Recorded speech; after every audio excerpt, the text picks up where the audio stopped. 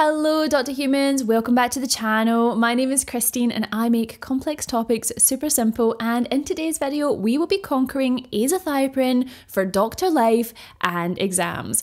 We're talking actually understanding how this drug works how it's metabolized, and the trouble we can run into when prescribing this medication. Yes, we'll be covering TPMT, allopurinol, the drug interactions, and so much more. So, without further ado, let's get to know azathioprine. Azathioprine belongs to a group of drugs known as the thiopurines, which also includes mercaptopurine and thioguanine.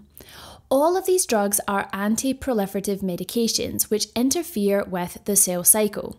Azathioprine and mercaptopurine are used to treat autoimmune disease, and azathioprine is also commonly used in transplant patients to prevent organ rejection. Thioguanine, on the other hand, tends to be prescribed for hematological malignancies. But how do these drugs actually work. Traditionally, we are taught that these drugs work by forming purine analogues, meaning they form little molecules which look a lot like DNA.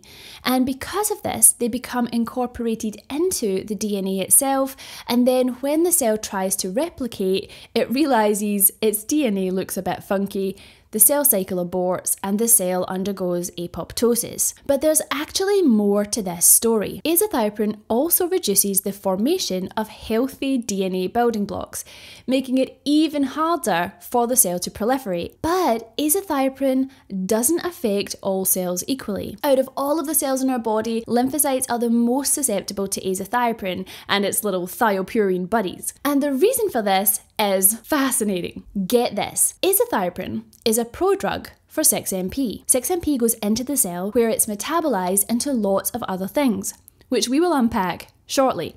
But one of the metabolites, 6-thio-GTP, sticks to a signaling molecule known as RAC1 and stops it from functioning. Now, you don't need to know a lot about RAC1.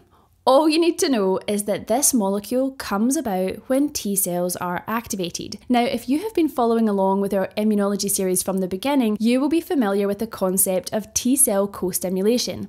Whenever a T cell is presented with an antigen, one of two things will happen an immune response or no immune response. If an immune response does happen, it means that there has been successful co stimulation, where a series of signaling molecules get together and basically cheer on the T cell. And with all of this encouragement, the T cell proliferates to create an army of T cells which go forth in an immune response. But if an immune response does not occur, it means that co stimulation has been unsuccessful. There's no one cheering on the T cell and that is very sad. And the T cell undergoes something called anergy and basically fades into the abyss. So, coming back to RAC1, this molecule is basically the start of a Mexican wave of signaling molecules cheering on the T cell.